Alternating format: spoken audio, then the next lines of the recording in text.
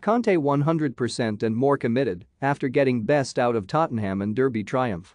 Antonio Conte insisted he was 100% and more committed to Tottenham after Thursday night's North London Derby win, as he called for the whole club to come together again for Sunday's sporting war against Burnley. Spurs moved to within a point of fourth-placed Arsenal with two games to play following their biggest derby win in the Premier League era.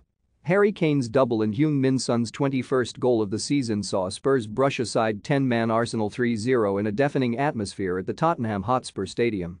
Afterwards, a bullish Conte took aim at his opposite number Mikel Arteta, advising him to stop complaining and focus on his team after the Arsenal boss appeared furious at refereeing decisions.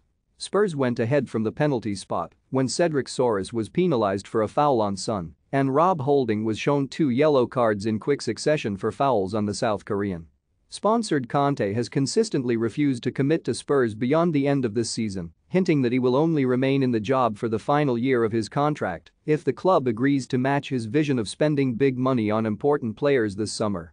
But asked last night if he was starting to build a connection with Tottenham, he said, From the moment I came to the club, and in every club I worked in in the past, I go totally with my heart, mind and head. Totally. 100% and more. This is my characteristic. I'm a passionate person, I think I showed this passion. I like to go totally into the club where I work. I know that only in this way I'm able to give everything and to receive everything from my players, my club and the fans. Because, if I'm the first person to give 200%, then for sure I can ask for this in return.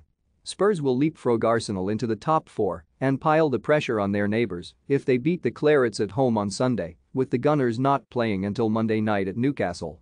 I read that it only took two months for Tottenham to make Conte crazy. On Sunday, we have to win, Conte added. I asked to our fans to recreate the derby atmosphere because it was amazing. The fans scored one goal. We scored two and one for our fans. It'll be important on Sunday to stay together and create again this atmosphere because it won't be easy. It'll be a sporting war.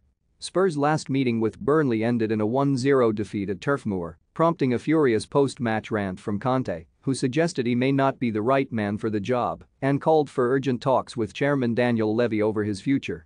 The result has proven a turning point, with Spurs winning 8 of their 12 league games since, and an exuberant Conte, who last night gave his most memorable post-match performance since Turf Moor, revealed his risk had paid off. It made me very very angry, Conte said. I think it was a good step for my players, for the club, to understand what I wanted. There are moments that if you want to change the situation, sometimes you have to go strong. I understand very well that I took a risk because a lot of people didn't understand my comments. I read that it only took two months for Tottenham to make Conte crazy. Sometimes coaches have a strategy, the stick or the carrot. At the time, all the environment needed the stick. Myself was the first person because I hit myself and then the others. The first to take the blame has to be the manager. The manager has to address the situation. I thought it was right to go strong to try to change the situation. At the time, in my opinion, no one could think that with two games to go, Tottenham could be fighting for the Champions League. Now we are there, and from that step we improved a lot. There are moments when everyone has to take responsibility. The manager is the first, then the players, the club and all the employees of Tottenham, because we win and we lose together.